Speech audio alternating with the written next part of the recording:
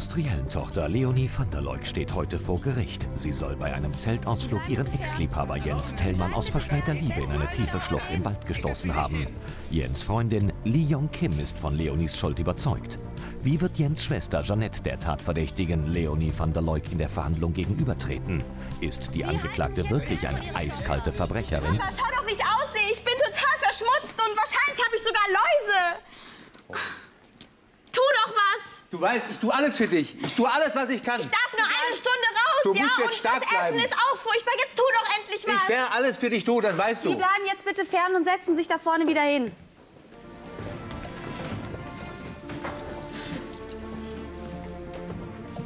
Nehmen Sie bitte Platz, meine Damen und Herren. Das Beratungszimmer hat ja bekanntlich Ohren. Darf ich mal fragen, was hier eben los war? Sie sind offen- meine Tochter begrüßt, Herr Richter. Guten Morgen. Dann setzen Sie sich mal wieder, Herr van der Leuk. Ja? Ähm, wir wollen jetzt die Verhandlung beginnen und äh, es wäre schön, wenn Sie sich dann im Publikum etwas zurücknehmen würden. Ja? So, dann nehmen wir bitte mal fürs Protokoll auf. Ähm, ich eröffne die Sitzung der Großen Strafkammer als Schwurgericht in der Strafsache gegen Leonie van Leuk wegen Totschlags. Die Gerichtsbesetzung ist allen Verfahrensbeteiligten mitgeteilt worden. Erschienen sind die Angeklagte vorgeführt aus der Justizvollzugsanstalt in Beistand ihres Verteidigers, der Rechtsanwalt Broscheid, und als äh, Vertreterin der Staatsanwaltschaft in der heutigen Sitzung Frau Staatsanwältin Paukenshof. Frau van der Leuk, wenn Sie bitte hier vorne Platz nehmen wollen, wir möchten Sie zunächst zu Ihrer Person befragen. Ihr voller Name ist Leonie van der Leuk. Sie sind am 12. April 1980 in Köln geboren. Ja. Ledig wohnhaft bei Ihren Eltern in Köln. Ja. Befinden sich allerdings zur Zeit seit dieser Geschichte hier in Untersuchungshaft in der Justizvollzugsanstalt. Ja, ich bin unschuldig, das ist alles eine Farce hier. Frau van der Leuk, zum Tatvorwurf können Sie sich gleich äußern. Ja? Was machen Sie beruflich? Ich bin Assistentin der Geschäftsleitung im Pharmakonzern meines Vaters. Hm, Wie hoch ist Ihr Einkommen? Äh, Ich bekomme kein Geld, ich arbeite, also ich bekomme kein Gehalt. Aber von irgendwas müssen Sie ja leben. Geld. Ähm, ja, mein Vater zahlt mir eine monatliche Apanage, so um die 5000 Euro. Sie sind nicht vorbestraft, Natürlich keine Anklagungen. Sind noch Fragen zur Person? Von Ihrer Seite auch keine mehr. Dann darf ich Sie um die Verlesung der Anklageschrift bitten, Frau Staatsanwältin. Der Angeklagten Leonie van der Leuk wird Folgendes zur Last gelegt. Am 22. August 2003 machte die Angeklagte gemeinsam mit dem Opfer Jens Tellmann, dessen Schwester Jeanette Tellmann und den Zeugen Felix Kubitschek, Sandra Schweiger, Lee Yong Kim und Marcel Fangert einen Ausflug in die Eifel nach Schleiden. Die sieben Freunde bauten ihr Zelt auf dem Campingplatz im Wald auf und begaben sich gegen Abend dann gemeinsam zum nahegelegenen See, um dort zu baden. Jens Tellmann und der Zeuge Marcel Fangert blieben etwas hinter der Gruppe zurück, um sich in Ruhe unterhalten zu können. Die Angeklagte sprach auf dem Weg zum See die ganze Zeit davon, dass sie Jens Tellmann in dieser Nacht wieder verführen würde. Die beiden hatten vor einiger Zeit bereits einmal miteinander geschlafen. Jedoch hatte sich daraus nicht, wie von der Angeklagten erhofft, eine Beziehung entwickelt. Als die Angeklagte an diesem Abend weiter Anspielungen wegen Jens Tellmann machte, teilte ihr die Zeugin Lee Yong Kim mit, ir- irgendwann mit, dass sie schon seit sechs Wochen mit Jens zusammen sei. Daraufhin rastete die Angeklagte völlig aus und schrie die erschrockene Zeugin mit den Worten, wenn ich ihn nicht kriege, dann auch keine andere und du schon gar nicht an. Wutentbrannt stürmte sie davon, um Jens Tellmann zur Rede zu stellen. Dieser befand sich gerade auf dem Weg zum See zu den anderen. Der Zeuge Fangert war zum Zeltplatz zurückgelaufen, da er den Grill schon anzünden wollte. Als die Angeklagte auf Jens Tellmann traf, kam es zu einer Auseinandersetzung, in deren Verlauf die Angeklagte ihn voller Wut in eine tiefe Schlucht stieß. Dabei nahm sie seinen äh, Tod zumindest billigend in Kauf. Als Jens Tellmann sie schwer verletzt unten in der Schlucht liegend um Hilfe anflehte, entfernte sie sich, ohne sich um Jens Tellmann zu kümmern, der kurz darauf seinen schweren Verletzungen erlag. Die Angeklagte wird somit des Totschlags beschuldigt, strafbar gemäß § 212 Absatz 1 Strafgesetzbuch. Vielen Dank, Frau Staatsanwältin. Frau van der Leuk, es steht Ihnen als Angeklagte vor Gericht frei, ob Sie etwas sagen wollen. Sie können selbstverständlich Stellung nehmen, Sie müssen das aber nicht. Sie haben auch das Recht zu schweigen. Ich gehe davon aus, dass Sie sich mit Ihrem Verteidiger besprochen haben, ob Sie Erklärungen hier abgeben wollen. Ja. Das werde ich. Heißt das, Sie möchten möchte zur. Anklage Stellung nehmen? Ja, die Frau Staatsanwältin hat es eben noch mal verlesen, was Ihnen zum Vorwurf gemacht wird. Was sagen Sie denn dazu? Also das ist totaler Schwachsinn. Ich habe Jens nicht umgebracht. Das, ist, das stimmt überhaupt nicht. Ähm, bevor ich Ihre Vernehmung äh, fortsetzen will, hören wir uns vielleicht am besten mal ähm, diesen Mitschnitt an, die Diktierfunktion des Sie ist unschuldig. Herr van der Leuk. Es ist mein setzen, Kind. Setzen Sie sich augenblicklich auf Ihren Stuhl. Setzen Sie sich augenblicklich auf Ihren Stuhl. Wenn Sie die Verhandlung leiten wollen, dann können Sie gerne hier nach vorne kommen, aber das geht nicht, weil im Gesetz steht, dass die Kammer, der Kammervorsitzende die Verhandlung leitet. Und Sie setzen sich jetzt wieder hin. So, ich habe gerade erwähnt, dass die Diktierfunktion des Handys des Opfers äh, bei diesem Sturz wohl eingeschaltet worden ist oder eingeschaltet war. Jedenfalls ergibt sich dort äh, ein Mitschnitt, den ich an dieser Stelle mal zunächst anhören möchte. Leonie, bitte hilf mir. Nein! Bitte, Leonie, lauf nicht weg. Leonie. Leonie, lass mich nicht allein, bitte. Ich kann auch nichts dafür, dass ich Kim liebe. Leonie. Das waren offensichtlich äh, ja, die letzten Worte von Herrn Tellmann.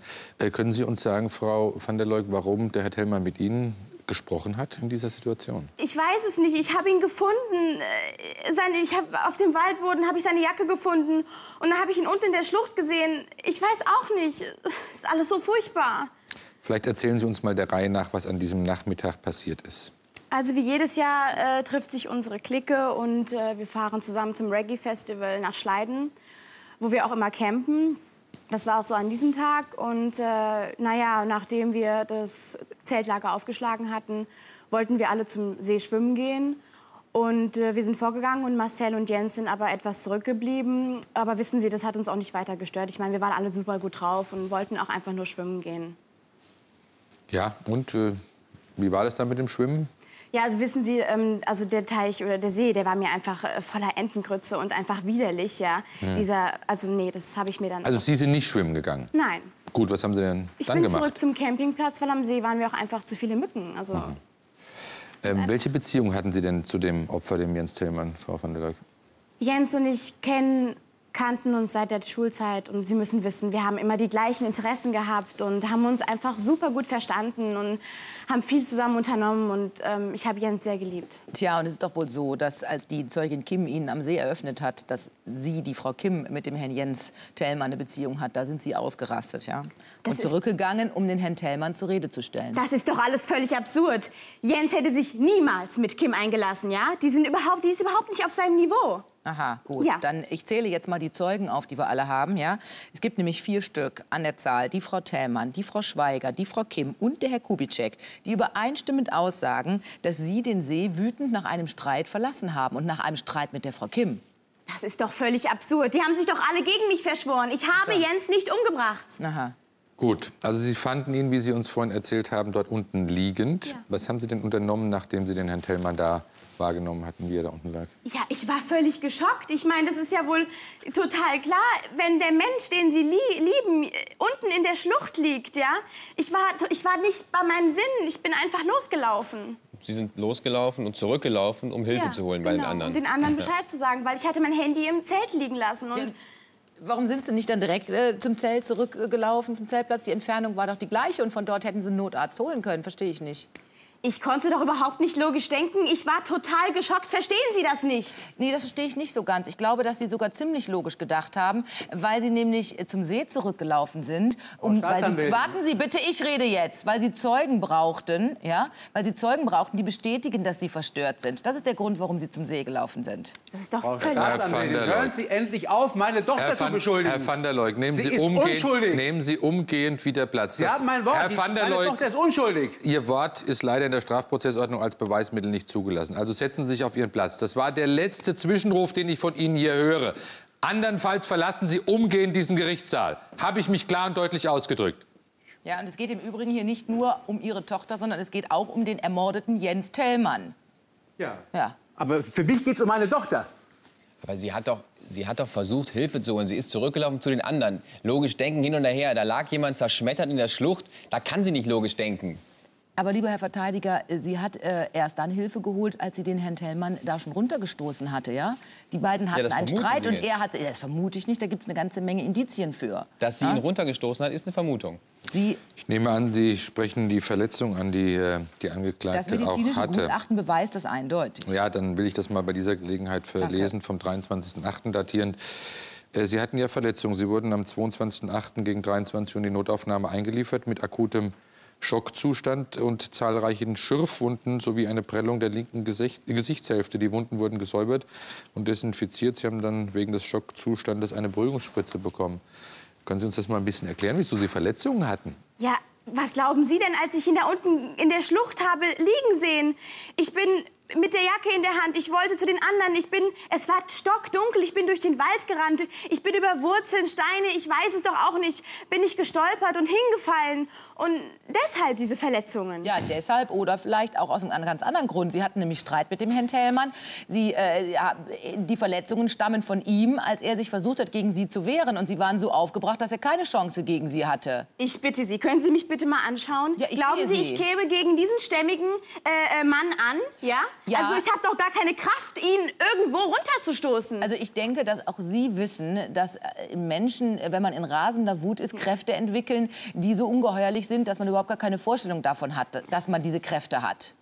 Also teilweise Ja, also- entwickeln Staatsanwältinnen auch in ihrer blühenden Fantasie Theorien, die auch ziemlich hanebüchen sind. Ach, Herr Kollege, Aber also die meine, Beweise das sind ist- hier ziemlich sie ist eindeutig. verletzt, aber wodurch sie verletzt worden ist, das haben wir noch nicht bewiesen. ja, nein, was heißt bewiesen? Sie hat uns Und- irgendeine Geschichte erzählt. Ich habe keine weitere. Ich habe noch eine. Frage. Wie glauben Sie denn, wie Herr Tellmann in die Schlucht gefallen ist, gestürzt ist oder wer ihn da hätte reinschubsen können? Wissen Sie, Jens war den ganzen Tag schon ein bisschen durcheinander, ja. ja und er hat sich auch? Nee. äh, beim Zelteaufbauen schon verletzt, ja. Und wir haben letztes Jahr haben wir ein Liebespärchen in der Schlucht gesehen. Und vielleicht wollte er gucken und es war ein Unfall. Warum denn auch nicht? Gut, dann äh, verlese ich an dieser Stelle noch den Obduktionsbericht äh, des Gerichtsmedizinischen Instituts in Köln vom 27.08. Die Zusammenfassung lautet wie folgt. Der untersuchte Leichnam wies zahlreiche Knochenbrüche, Quetschungen, Hautabschürfungen und Hämatome auf. Bei der Obduktion wurde ein stumpfes Bauchtrauma Trauma und ein Milzriss festgestellt. Die Untersuchung ergab weiterhin ein schweres Schädelhirntrauma, infolgedessen der Tod eintrat. Diese Verletzungen lassen sich auf den Sturz zurückführen. Der Todeszeitpunkt lag aller Wahrscheinlichkeit nach zwischen 21 und 21.30 Uhr. Es folgt die Unterschrift. Fragen noch an die Angeklagte? Von Ihrer Seite auch nicht. Gut, dann sind Sie bitte so nett neben, neben Ihrem Verteidiger Platz. Wir treten dann in die weitere Beweisaufnahme ein. Rufen als erstes Janette Tellmann herein. Frau Tellmann, bitte.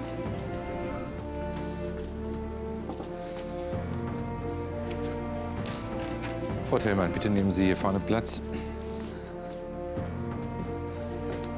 Frau Tellmann, die Kammer hat Sie zum heutigen Termin als Zeugin geladen, weil Sie uns bei der Wahrheitsfindung helfen sollen. Deshalb müssen Sie als Zeugin auch die Wahrheit sagen. Sie würden sich im Fall einer Falschaussage strafbar machen, unabhängig davon, ob Sie vereidigt werden oder nicht. Ja. Sie heißen Janette Tellmann, sind 26 Jahre alt, ledig wohnhaft in Krefeld. Ja, das stimmt. Und äh, Sie besitzen dort ein Kosmetikstudio, ja? Mhm. Mit der Angeklagten sind Sie weder verwandt noch verschwägert. Nein. Obwohl Leonie hat alles dafür getan, dass sich das ändert in letzter Zeit. Aber dass sie so weit gehen würde, damit habe ich nicht gerechnet. Frau Tellmann, bei allem Verständnis für Ihre Trauer, äh, vielleicht äh, überlassen Sie es uns, äh, hier zu klären, ob die Angeklagte nun wirklich schuld ist an dem, was geschehen ist oder nicht.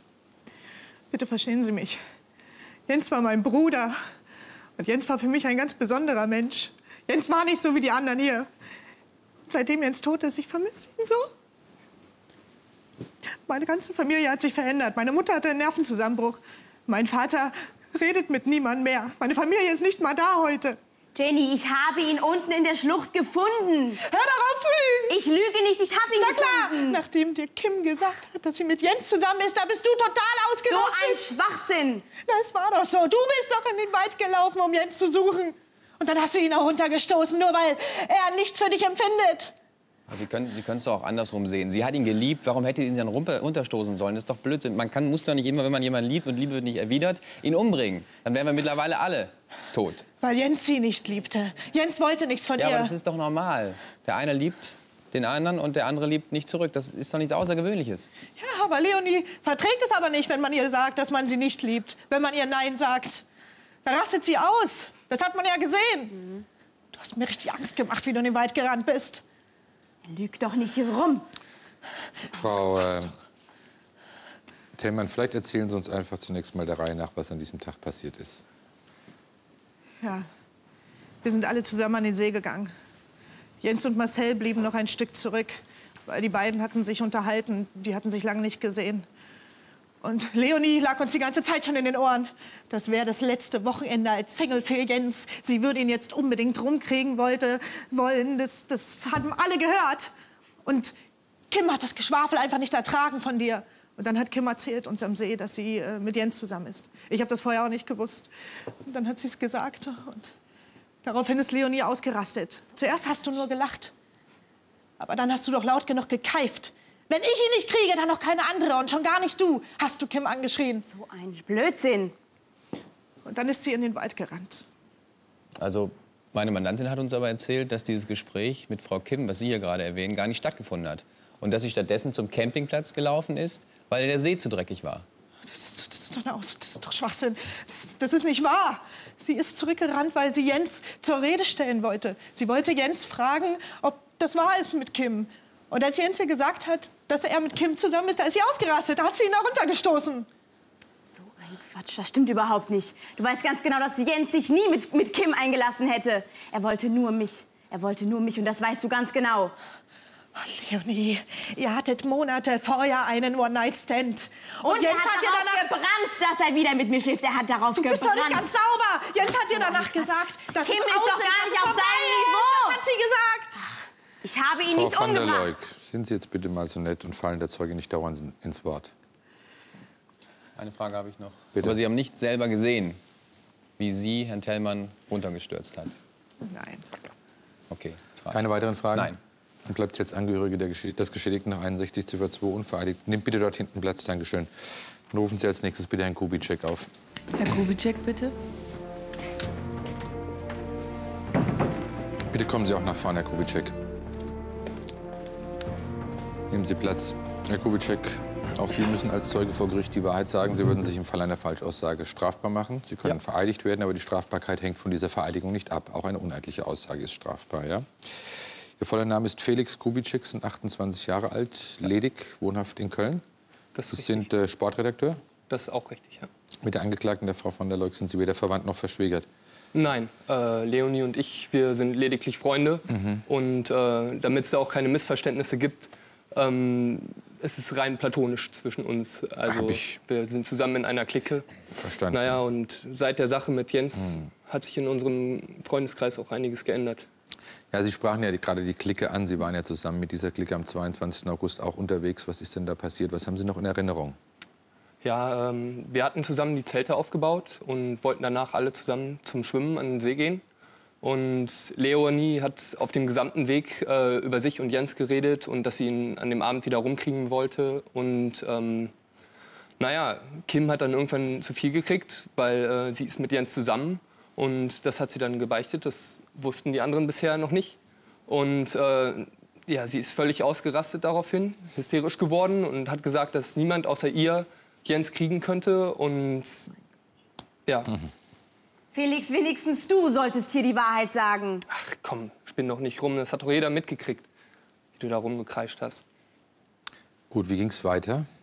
Was ist dann passiert? Ähm, ja, danach waren ich, Kim und äh, Jeannette zusammen schwimmen. Und dann ist Sandra, ähm, hat sich wieder angezogen und äh, ist hinter Leonie hinterhergelaufen und in den Wald auch. Ja, irgendwie verlieben sich immer die Falschen. Was meinen Sie damit? Es verlieben sich immer die Falschen? Noch nicht. Wie nichts. Sie haben doch gerade gehört, Sie müssen die Wahrheit hier sagen. Ich kann Sie auch vereidigen lassen. Was meinen Sie damit? Also, Herr Kubitschek, zu einer wahrheitsgemäßen Aussage gehört auch, dass man nichts verschweigt, nichts weglässt. hm? Also nochmal, was haben Sie gerade damit sagen wollen, als Sie sagten, es verlieben sich immer die Falschen? Naja, also Sandra hat mir und Kim ein Geheimnis anvertraut. Sind Sie bitte so nett und weihen uns in dieses Geheimnis ein. Sie sprechen ja von der Sandra Schweiger, ne? Ja, das ist richtig. Also Sandra ist lesbisch und ähm, Bitte? sie steht schon seit der Schulzeit auf Leonie und sucht in jeder Möglichkeit, äh, in jedem Moment eigentlich die Möglichkeit, ihr näher zu kommen. Versucht alles und ähm, ist dann wahrscheinlich hinterhergerannt, um sie zu trösten. Und insgeheim hat sie, glaube ich, gehofft, dass Leonie ihre, ihre Gefühle irgendwann erwidern würde. Das, das ist ja widerlich. Und ich dachte, ich dachte, sie wäre einfach nur anhänglich mit ihrer betüttelnden Art. Dabei hat sie mich angemacht. Ey, das, das ist ja das Letzte. Also ich finde das schon eine ziemlich interessante Neuigkeit hier, denn damit hatte Sandra Schweiger auch ein Tatmotiv. Sie wollte nämlich Herrn Tellmann als ihren Konkurrenten ausschalten. Ja, das ist doch total klar, dass ich da nicht schon selbst drauf gekommen bin. Da, sie wollte ihn einfach aus dem Weg schaffen. Ja, aber das ist doch Blödsinn, weil Sandra wusste ja, dass, dass Jens überhaupt nichts von dir will. Ja, also, äh, Herr Verteidiger, Entschuldigung, auch selbst wenn die Zeugin Schweiger, was ja nun ganz in Sternen steht, ein, ein Tatmotiv gehabt hätte, so war es Ihre Mandantin, die mit der Jacke des Opfers in der Hand angerannt kam. Ja, aber dass sie jetzt zufällig die Jacke in der Hand hat, macht sie ja nicht automatisch zur Täterin. Naja gut, also fest steht, es hat an den Klippen eine handgreifliche Auseinandersetzung gegeben. Aber nicht mit Dabei, wem? bitte? Aber nicht mit wem. Genau. Moment. Und dann hat Ihre Mandantin genau diese Jacke des Opfers von da dann in der Hand und kommt mit dieser Jacke in der Hand angelaufen. Komischer Zufall, oder? Weil ich die Jacke Naja, gefunden Moment. habe. Es kann ja Einfach auch so sein, im Wald, ne? Kann es denn nicht sein, dass Jens einfach die Jacke verloren hat und als er sie wieder aufheben wollte, irgendwie abgerutscht und Ja, also ist? wir können alle hier jetzt noch wilde Spekulationen darüber äh, anstellen. Ja? Also wohl kaum. Äh, ne? Nur ich, denke, dass das auch nicht unbedingt Ihre Aufgabe ist. Da habe ich eher eine Frage an Sie. Ähm, Sie waren doch noch am See, als die Angeklagte dann äh, da aus dem Wald oder ne, zurückkam. Was für einen Eindruck hat, wie war sie drauf? Was für einen Eindruck hat sie gemacht? Ja, Leonie war total verstört, verständlicherweise. Sie kam wieder und ähm, ihr ganzes Gesicht war blutverschmiert. Sie hat gekreischt und gelacht gleichzeitig, hat Jens gebrüllt und ähm, in den Wald gezeigt, ist dann selbst auch in den Wald gelaufen. Und wir sind natürlich alle hinterher, weil wir gemerkt haben, dass was Ernstes passiert ist. Und ähm, als wir dann da waren, äh, ist sie auf die Knie gefallen und hat Jens gerufen und wieder gelacht und geheult. Also sie war wirklich total hysterisch. Und naja, also da wussten wir schon, dass sie irgendwas damit zu tun hat. Und wo war die Frau Schweiger zu dem Zeitpunkt, als Sie ihn da gesehen haben? Naja, als, als wir Jens halt da liegen haben sehen, sind wir sofort äh, zum Zeltplatz, um Hilfe zu holen. Und auf dem Weg dahin kam uns Sandra schon entgegen, weil ähm, sie hatte von äh, Marcel wiederum erfahren, dass Leonie nicht am Zeltplatz ist. Und da wollte sie halt zurück zum See kommen. Das heißt, sie hatte also neben dem Motiv auch noch die Möglichkeit, Herrn Tellmann von den Klippen zu stoßen. Ja, aber das ist völlig ausgeschlossen. Also ehrlich gesagt, wenn ich es jemandem zutraue, dann eher Leonie. Ähm, sagen Sie mal, also Sie halten es also für möglich, dass die Angeklagte wirklich also die Kontrolle über sich verloren hat, in Rage geraten ist? Ja, absolut. Ähm, ich kenne Leonie schon eine ganze Weile und ähm, ein Nein ist für sie absolut inakzeptabel. Ich, ich könnte mir gut vorstellen, dass sie sich einfach gestritten haben und äh, während der Streiterei ist es halt zu einem Unfall gekommen und ähm, Jens ist die Klippe runtergestürzt. Ich habe Jens nicht umgebracht. Ich habe ihn gefunden. Wie oft denn noch? Hör doch endlich auf zu lügen! Hör doch endlich auf zu Meine lügen, Mensch! Damen, bitte. Noch Fragen an den Zeugen? Nein, keine. Keine mehr. Dann bleibt im allseitigen Einverständnis nach 61 Ziffer 5 unvereidigt. Nimmt bitte dort hinten Platz. Dankeschön. Und dann rufen Sie bitte die Zeugin Schweiger herein. Frau Schweiger, bitte. Widert Bitte. mich an. Du, du, du bist Frau van der Leuk, Frau van der Leuk, ich habe das jetzt lange genug geduldet. Ich habe auch gewisse Rücksichten mit einer Angeklagten, die sich verteidigen will. Aber wenn Sie in diesem Ton weitermachen, kriegen Sie Ärger mit mir. Und jetzt halten Sie sich zurück. Reiß dich zusammen jetzt. Herr Richter, bei aller Demut, Sie verbieten meiner Tochter den Mund und die wahre Täterin läuft hier frei herum? Genau.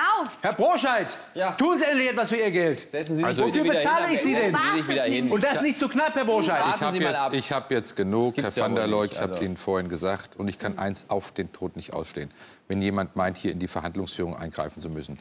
Dort ist die Tür, Sie warten bitte draußen. Und Frau van der Leuk, Sie halten sich jetzt bitte auch zurück. Wenn Sie Fragen an Zeugen haben, können Sie die stellen. Aber Sie kommentieren hier nicht alles. So, Frau Schweiger, wir haben Sie als Zeugen geladen zum heutigen Termin, weil Sie uns bei der Wahrheitsfindung helfen sollen. Deshalb müssen Sie auch die Wahrheit sagen. Sie würden sich im Fall einer Falschaussage strafbar machen, egal ob Sie hier vereidigt werden oder nicht. Ja. Sie heißen mit Vornamen Sandra, sind 25 Jahre alt, wohnhaft in Aachen. Ja, das stimmt. Schreinerin vom Beruf, Ja, richtig. hm, mit der Angeklagten weder verwandt noch verschwägert. Nein, Leonie und ich sind nur Freundinnen. Wie haben Sie den 22. August 2003 in Erinnerung? Ja, also bis auf Marcel und Jens waren wir alle am See. Und dann haben die Kim und die Leonie sich gestritten. Es ging um Jens. Und daraufhin ist Leonie dann wutentbrannt abgehauen. Was haben Sie daraufhin gemacht, Frau Schweiger? Ich bin in den Wald. Ich musste mal austreten. Und Sie sind nicht zufällig hinter meiner Mandantin hergelaufen, weil Sie sich in sie verliebt haben und weil Sie mitgekriegt haben, dass die Zeugin Kim, die wir noch hören werden, ähm, eben ihr erzählt hat, Wie, wie kommen Sie denn jetzt was Sache ist. darauf?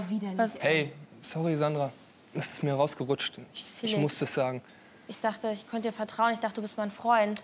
Ja, Frau Schweiger, das hat nichts mit Vertrauen zu tun. Ein Zeuge vor Gericht muss um, umfassend und wahrheitsgemäß angeben, was er gesehen, mitbekommen hat. Und da blieb dem Herrn Kubitschek nur nichts anderes übrig. Ne? Da brauchen Sie ihm gar keine Vorwürfe machen. Gut. Letzten Endes ist es doch auch nicht so schlimm. Du bist halt lesbisch. Aber das ist doch heutzutage nichts Schlimmes mehr. Ja, ist okay. Aber es ist widerlich, verstehst du? Es ist widerlich. Frau ich van der Leuk, nie wieder. Frau van der Leuk, ich habe jetzt genug von Ihren Äußerungen. Vor allen Dingen, wenn Sie so despektierlich sind und beurteilen wollen, ob das nun widerlich ist oder nicht. Deshalb nach Beratung am Tisch gegen die Angeklagte wird ein Ordnungsgeld von 100, nee, machen wir 200. Sie ist ja recht wohlhabend mit ihrer Apanage. 200 Euro ersatzweise zwei Tage Ordnungshaft verhängt. Und diese Ordnungshaft unterbricht jede andere Art der Haft. Nur damit Sie Bescheid wissen. Also ich kann nur noch mal feststellen, Sie haben damit ein Motiv gehabt, Herrn Tellmann von der Klippe zu stoßen. Herr Buschert, entschuldigen Sie, wenn ich Ihnen da ins Wort falle, aber Sie wissen, dass ich die Zeugin belehren muss, wenn so eine Frage äh, so gestellt wird.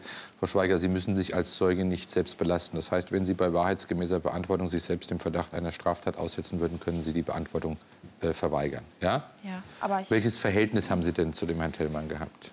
Also Jens und ich waren Freunde schon seit Jahren. Wir sind schon zusammen zur Schule gegangen.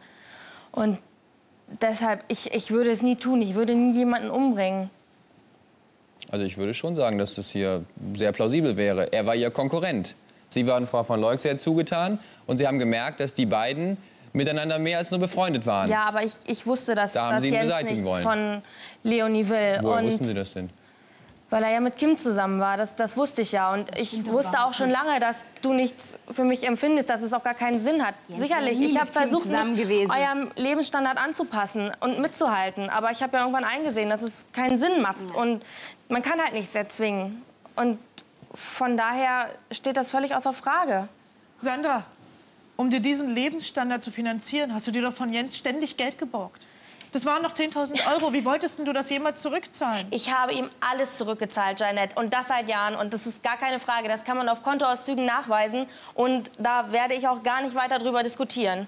Ja, ist doch. Also das, das lässt sich ja schon ganz leicht nachrecherchieren. können wir gerne Wie tun. viel oft und wie viel Sie ihm zurückgezahlt Ja, haben. Ja? monatlich. Und damit hätten wir nämlich schon ein zweites Motiv. Herr Kollege, ich bitte Sie, ich habe hab mich, wirklich, zu, ich hab mich wirklich Ja, zurückgehalten. wunderbar. Ja? Sie haben eben was davon erzählt, dass nicht jeder, der liebt, äh, dann werden wir alle ausgerottet. Genau das Gleiche haben Sie jetzt hier gerade der Zeugin, das haben Sie jetzt gerade der Zeugin vorgeworfen, nur weil sie einen anderen liebt äh, ne, oder ihm verliebt ist und, und äh, die, die Liebe, die keine Gegenliebe findet, äh, soll sie direkt jemand umbringen. Das, das ist ihr eigenes Argument gewesen. Ja? Genau, und deshalb kann Also, man es ihr nicht, lenken von deswegen eigenen kann man das Mandantin nicht gegen meine Mandantin Gensau, verwerten, weil man es hier genauso anwenden könnte. Wir Ja, wollen uns jetzt nicht hier auf irgendwelchen Nebenkriegsschauplätzen verzetteln und äh, anfangen, über äh, Kontenbewegungen oder sonst was zu ermitteln. Es steht Ihnen unbenommen, Beweisanträge zu stellen.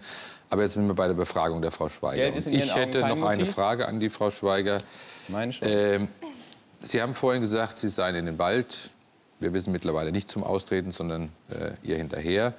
Was haben Sie denn, äh, wie haben Sie sich verhalten, was haben Sie gemacht, als Sie dann den See verlassen hatten? Wie Ja, ging es denn weiter? Ja, es stimmt. Ich bin in den Wald. Um, ich wollte Leonie suchen. Und ich bin dann zurück bis zum Zeltplatz. Aber da bin ich dann nur auf Marcel getroffen. Der hantierte da mit der Grillkohle rum und augenscheinlich war sie nicht dort.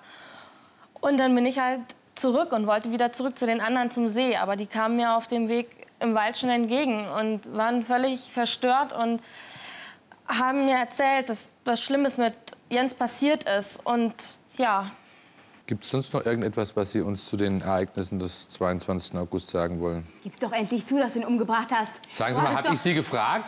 Jetzt ist aber mal gut. Ich weiß schon lange, dass du auf mich herabschaust, ja? Aber deshalb würde ich niemals töten. Weißt du, was ich glaube? Du hast ihn umgebracht, nämlich weil er nichts von dir wissen wollte. Dein Motiv ist doch viel eindeutiger, ja? Du wolltest bei mir freie Bahn haben und das Geld hättest du Ja. sowieso nicht doch zurückgezahlt. Nun ist, nun ist aber gut. Ich hatte Sie eben noch gefragt, gibt es noch irgendetwas, was Sie uns dazu zu sagen haben zu diesem Tag? Oder sonst würde ich die Vernehmung nämlich ganz gerne hier beenden, wenn es nur noch darum geht, wer welche Beziehung hier. Also ich weiß nur, Vermutet. für Leonie gab es keinen Verzicht und sie konnte es absolut nicht akzeptieren, dass Jens sie nach dem One-Night-Stand zurückgewiesen hat. Und von daher kann es durchaus so gewesen sein. Aber mehr kann ich Ihnen dazu leider nicht sagen. Sie noch Fragen an die Zeugin? Keine mehr. Nein. Von Ihrer Seite auch nicht, dann bleibt sie im allseitigen Einverständnis nach 61 Ziffer 5 unvereidigt. Nehmen bitte dort hinten Platz, Frau Schweiger, dann rufen Sie Frau Kim herein. Frau Kim, bitte. Frau Kim, bitte nehmen Sie auch hier vorne Platz. Frau Kim, Sie müssen als Zeugin vor Gericht die Wahrheit sagen. Sie machen sich strafbar, wenn Sie etwas Falsches sagen, egal ob Sie hier vereidigt werden oder nicht. Ja? Ja. Gut, Sie heißen Lee Yong Kim. Ist das richtig? Ja, ich heiße Lee Dong Kim, aber meine Freundin nennt mich immer Kim, weil das zu schwierig ist für die. Gut, Sie sind koreanische Staatsangehörige, Ja. sprechen ja sehr gut Deutsch, 26 Jahre alt, ledig, wohnhaft in Köln. Ja, das stimmt. Und äh, nach meinen Informationen studieren Sie Germanistik, ist das richtig? Ja, ja. Mit der Angeklagten sind Sie weder verwandt noch verschwägert. Nein. Frau Kim, hatten Sie mit Jens Tellmann eine Beziehung? Ja, wir waren seit sechs Wochen zusammen und ähm, naja, uns, wir kannten uns ja eigentlich auch zur Schulzeit und naja, eigentlich trennten uns Welten, aber dann hat's gefunkt und naja, zu Anfang wollten wir es auch nicht an eine große Glocke hängen, sodass unsere besten oder meine besten Freunde Sandra und Felix davon äh, wussten. Kim, ich bitte dich. Du hattest nie was mit Jens. Was will er denn mit so einer mittellosen Studentin, wie du sie bist? Hör auf damit. Dein ganzes Schickimicki-Gehabe, deine ganzen Shoppingtouren, das war ihm viel zu oberflächlich. Er hat doch nur mit dir gespielt. Ja, sicher doch. Außerdem, ich meine, vielleicht hat er dich ja gemocht, aber akzeptiert. Oder richtig geliebt hat er dich nie. Und das ist die Wahrheit, Leonie. Und willst du mal was wissen? Guck mal. Guck mal, was Jens mir geschenkt hat, eine Woche vor seinem Tod. Lies! Für Kim von Jens. Wie süß. So ein Kitsch hätte Jens nie verschenkt. Ach, du kannst es ja nicht akzeptieren. Du hast es nie akzeptiert. Du kannst sie nicht besitzen. Du kannst niemanden besitzen. Frau Kim, was können Sie uns denn zu den Vorfällen vom 22. August nun sagen? Ja, Entschuldigung. Wissen Sie, wir waren ja auf dem Weg zum See, wir wollten baden. Und naja, da hat Leonie den, auf dem ganzen Weg die ganze Zeit so geprahlt, ja, dass Wil- äh, Jens wild auf sie ist und dass sie ihn rumkriegen will. Und naja, wissen Sie, da ist mir irgendwann der Senkel geplatzt. Und naja, eigentlich wollten Jens und ich das am Lagerfeuer später sagen, den ganzen Freunden, und dass wir eine Beziehung haben, aber vorher nicht. Und deswegen habe ich dann, naja, ich habe ich musste sie dann halt zur Seite nehmen und ihr dann er- erklären, dass wir zusammen sind und eine Beziehung haben. Davon träumst du wohl. Ähm, Frau van der ne? Ich bin jetzt mal dran. Können Sie mir oder uns hier allen sagen, wie die Frau van der Leuk dann auf Ihre Offenbarung da reagiert hat? Ja, sie hat sich aufgeregt, sie war richtig sauer, sie hat mich angeschrien. Und dann, dann hat sie plötzlich angefangen zu lachen.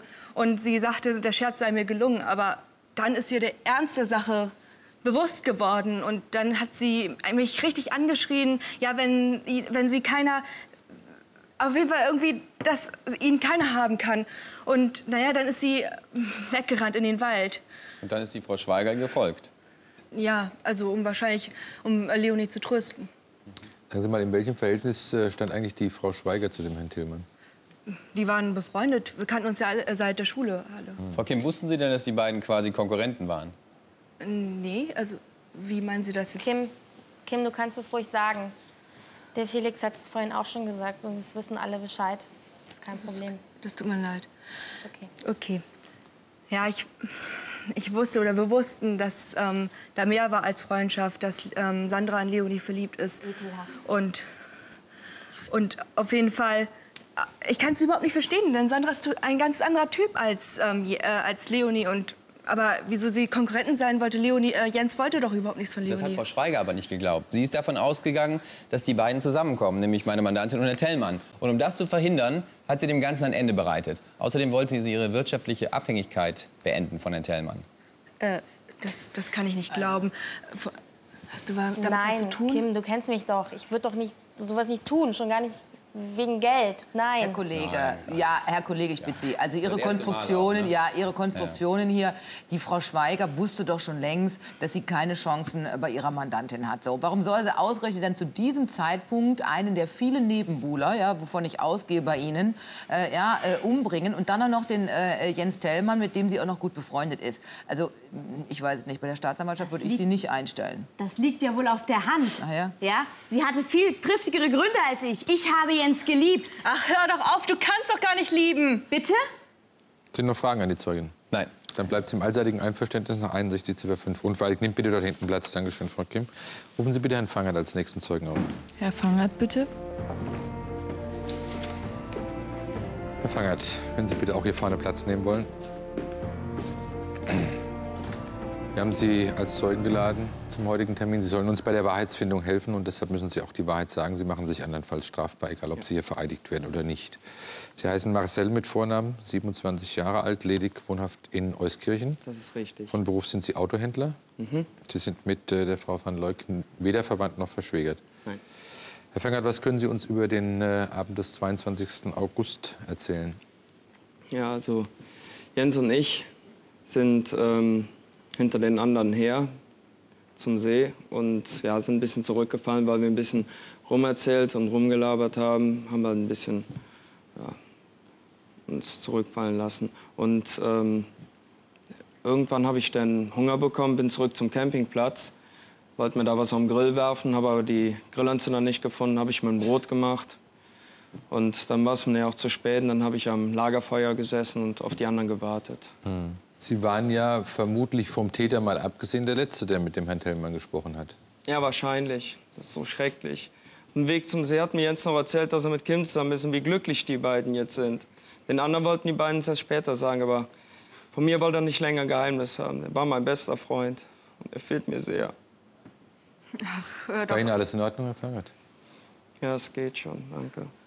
Weißt du, was ich nicht verstehen kann, Leonie? Wenn du ihn doch so geliebt hast, warum konntest du ihm dann nicht sein Glück mit Kim gönnen? Weil ich einfach wusste, dass wir viel besser zusammenpassen als er und diese Kim. Von wegen zusammenpassen. Du wolltest ihn doch nur besitzen. Du hast doch nichts und niemanden mehr wahrgenommen.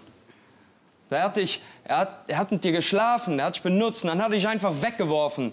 Du hast das nicht kapiert. Sagen Sie, Herr Fangert, ähm, können Sie sich denn vorstellen, dass es so ist, dass hier die Angeklagte, die Frau van der Leuk, ähm, den Herrn Tellmann die Klippen runtergestürzt hat? Ich weiß es auch nicht. Ich weiß nur, mein bester Freund ist tot. Und das ist ein schwerer Verlust. Ach, hör doch auf, Marcel. Du weißt doch ganz genau, dass eure Freundschaft angeknackst war. Und du hast ihm das nie verziehen, diesen One-Night-Stand mit Leonie, dieser. Wie kannst du sowas nur sagen, Kim? Er war mein bester Freund. Da werde ich auch wohl noch trauern dürfen. Ist ja alles sehr interessant. Erzählen Sie doch bitte weiter, Frau Kim. Wobei ich Sie weiter darauf hinweisen muss, dass Sie immer noch als Zeugin hier sind und die Wahrheit sagen müssen, ja? Ja, also da gibt's nicht viel zu erzählen. Das sind halt Fakten. Ähm, jetzt, ähm, Marcel, der hasst es, zurückgewiesen zu werden. Das ist, sie sind ähnliche Typen, Leonie und Marcel. Und jetzt ist Leonie eine Herausforderung gewesen für Marcel. Und als ich, als du erfahren hast, hm, dass ich mit ihm geschlafen habe oder er mit mir geschlafen hat, da bist du doch vollkommen ausgerastet. Na und? Ich mag dich halt irgendwie. Danke, wie nett von dir. Und außerdem wusste ich doch, dass er es eh nicht ernst mit dir meint. Und das hat mir halt irgendwo leid getan. Aber das gehört doch alles gar nicht hierher. Da bin ich mir gar nicht so sicher, ob das alles gar nicht hierher gehört. Denn immerhin waren Sie ja der Letzte, der Herr Tellmann leben gesehen hat. Außer dem Täter. Es sei denn, Sie sind der Täter. Also jetzt Sie sind ja ich vielleicht mit ihm jetzt aneinander muss geraten. ich Sie belehren, Herr Fangert, dass Sie sich als Zeuge vor Gericht nicht selbst belasten müssen, ja, wenn Sie die Frage wahrheitsgemäß beantworten würden. Also, vielleicht sind Sie mit ihm aneinander geraten, weil Sie gehört haben von ihm, dass Ihr Freund immer noch hinter ihr her ist. Oder es geglaubt haben zumindest. Und das haben Sie nicht verkraften wollen. Das ist doch Blödsinn. Ich hätte mich niemals mit Jens gestritten. Erst recht nicht wegen einer Frau. Wir haben gerade was ganz anderes gehört. Warum hast du dich eigentlich nach Jens Tod bei keinem von uns gemeldet, Marcel? Nicht nur mich hast du angerufen. Ich dachte, wir sind Freunde. Du hast mich ganz schön gekränkt. Ich war ziemlich beschäftigt und hatte viel zu tun. Und irgendwie musste ich die Sache auch verarbeiten und wollte allein sein. Müsst ihr verstehen. Von wegen verarbeiten müssen, Herr Fangert. Sie werden mit Ihrer Schuld nicht fertig. Sie haben es getan. Sie haben ihn die Klippen runtergestürzt. Geben Sie es jetzt endlich zu, Mensch. Nein, nein, nein, ich habe damit nichts zu tun. Du Mistkerl. Und wegen dir sitze ich in diesem Loch. In diesem, noch nie bin ich so mies behandelt worden wie dort. Da falsch auch überhaupt keinen Grund. Er war mein Freund. Weißt du, nämlich die ganze Zeit am Zelt hast du mich schon angegrapscht und angebaggert. Und als dir Jens erzählt hat im Wald, ja, dass er eine neue Freundin hat, da hast du nämlich gedacht, ich wär's. Aber dass es unsere kleine Studentin hier ist, darauf bist du nicht gekommen. Und dann hast du ihn kalt, kalt einfach umgebracht. Stimmt das, Marcel? Hast du ihn umgebracht? Nein, ich war's nicht. Mach den Mund auf, Marcel. Frau van der Leuk, es reicht Sag uns jetzt. endlich, was passiert ist. Hey Marcel, es hat doch alles eh keinen Zweck mehr. Es wird doch eh alles rauskommen. Marcel, sag jetzt die Wahrheit. Hast du etwas mit dem Tod meines Bruders zu tun?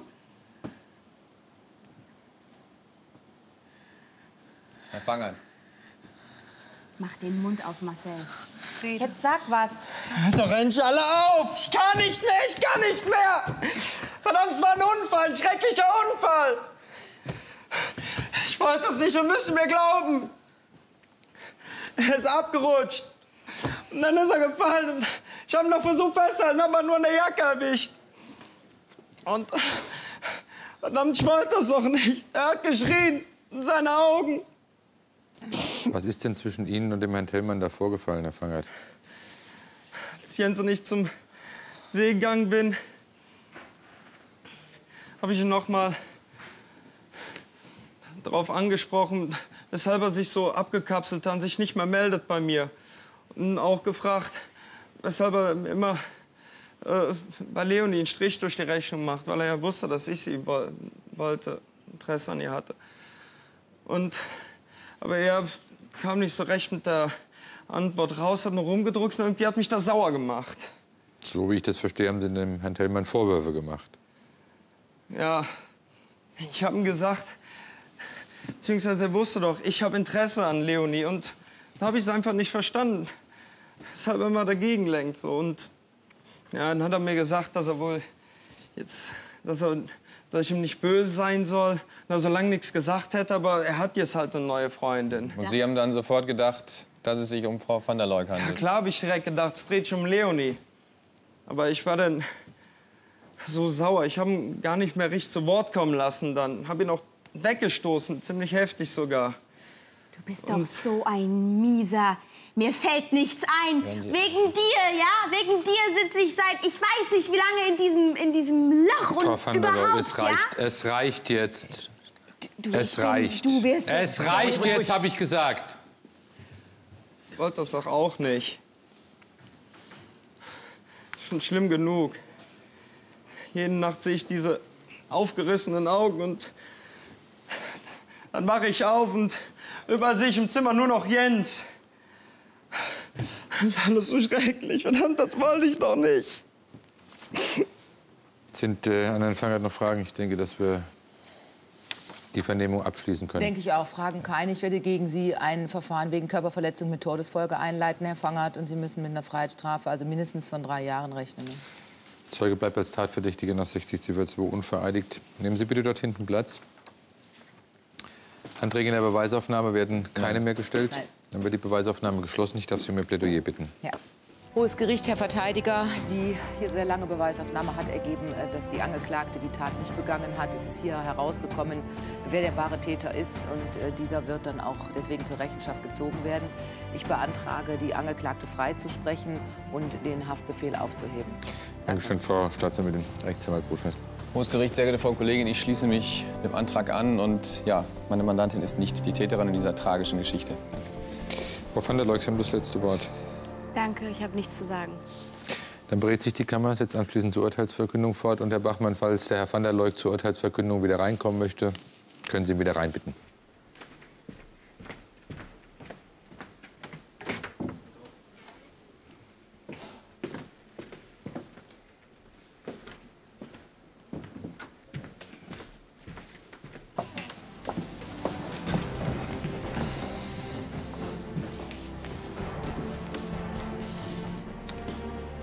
Namen des Volkes ergeht folgendes Urteil. Die Angeklagte wird auf Kosten der Staatskasse, die auch ihre notwendigen Auslagen zu tragen hat, freigesprochen. Sie ist für die Zeit der zu Unrecht erlittenen Untersuchungshaft zu entschädigen. Bitte nehmen Sie Platz.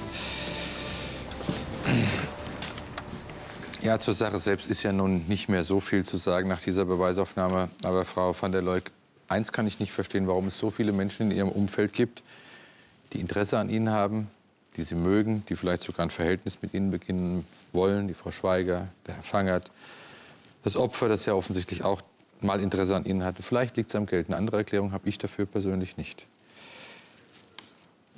Dass Sie hier zu Unrecht äh, angeklagt worden sind, hat natürlich mit dieser Beziehung zu tun. Der Einzige, der das offensichtlich erkannt hatte, war das Opfer. Und da lag die Vermutung nahe, dass er vielleicht deshalb sterben muss. Das war aber nicht so. Es gab einen anderen Grund, wie wir heute hier erfahren haben. Aus diesem Grunde sind Sie freizusprechen. Mit der sich daraus ergebenden Kostenfolge für die Untersuchungshaft sind Sie zu entschädigen. Das wird Ihnen wahrscheinlich von der Höhe nicht genug sein, aber da gibt es eine gesetzliche Grenze. Das kann ich nicht ändern.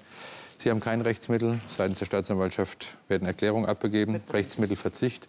Dann ist dieses Urteil rechtskräftig. Dann bleibt mir nur noch übrig, den Haftbefehl aufzuheben und Entlassungsersuchen zu erteilen. Damit schließe ich die Sitzung.